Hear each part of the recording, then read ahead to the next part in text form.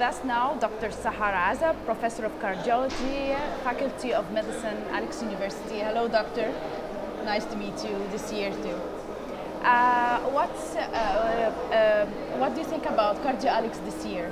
Uh, Alex this year is a great uh, conference uh, which contains a lot of uh, foreigner speakers, a lot of professors of cardiology and uh, junior staff.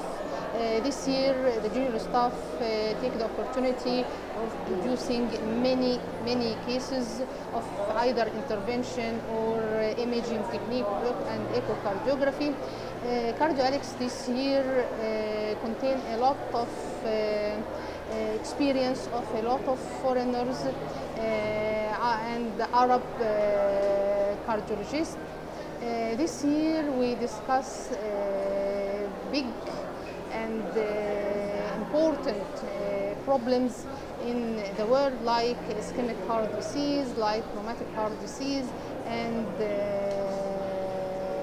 I and malignant tumors of the heart. I I thought that uh, Cardio Alex this year uh, can achieve all the uh, requirements of all our patients. Okay.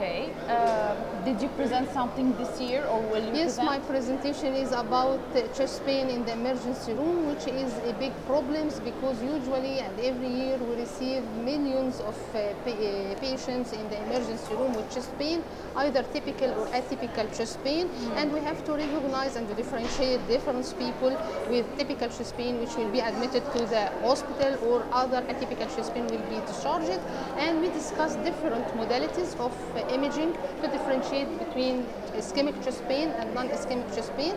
My talk is about the different modalities, especially the myocardial perfusion imaging to differentiate ischemic from non-ischemic chest pain to decrease and to diminish the cost uh, burden on the uh, country.